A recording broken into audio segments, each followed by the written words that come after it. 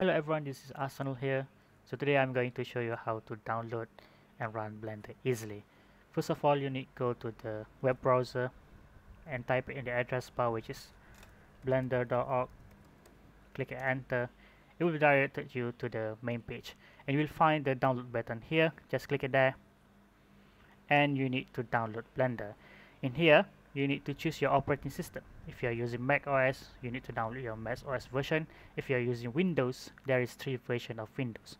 And the easiest way to download and run Blender, you need to choose the Windows Portable Zip and click it. It will pop up there, save it, save the file and download it.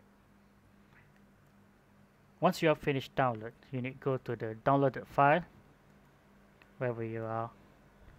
And it will be like this blender 2.91.0 windows 64 and click it there.